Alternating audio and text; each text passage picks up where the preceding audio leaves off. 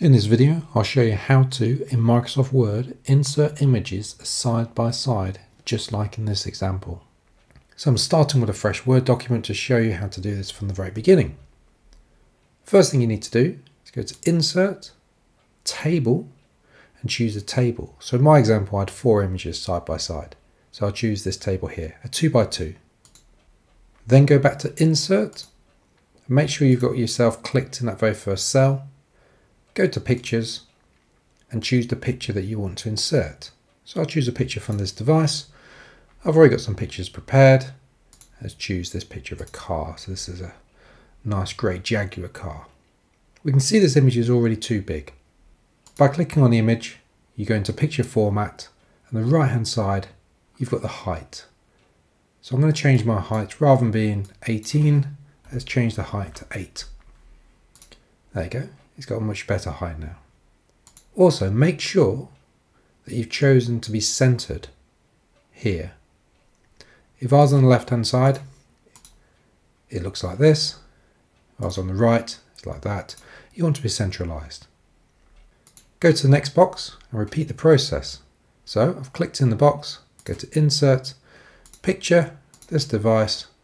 I'll pick this grey Porsche Got the same problem again, the image is too big. But clicking on image, make sure you're in picture format and make sure the height is the same height as the last one, so that was 8 centimeters. So both the Jaguar and the Porsche are both 8 centimeters. I'll do this same process again here. Insert, picture, this device. I've got a nice red Porsche this time. Change the height of that to 8 centimeters. And then insert picture this device in the very last cell. I'm going to choose this yellow Ferrari.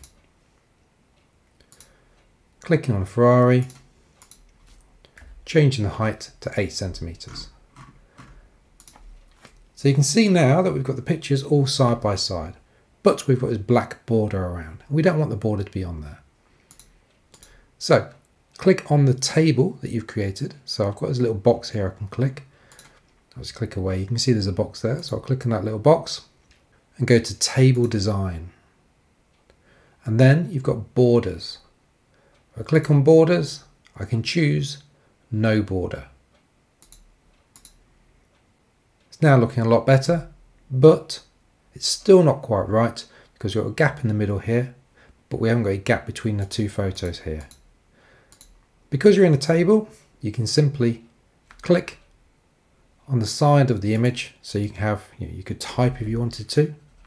Not that we want to but what you want to do is press return on your keyboard and we've now created a gap. The gap is too big. So if we go to home what we want to do is change the font size. Let's drop it all the way down to 8 or whatever number you want. You can go even smaller than that. So I'll click in there again. I'll drop it down to 5 if I wanted to and that's how you can create your gap you can play around them with the margins of the page if you wanted to. So we go to layout, margins, and make sure it's narrow. And also, because I've gone to the second page, I can just try and delete the second page, but it's not letting me do that. So what again I can do is drop the font size all the way down. And we can see that we now have four images side by side on the page. And hopefully you found this video useful. If so, please like the video, subscribe to my channel for more top tech tips.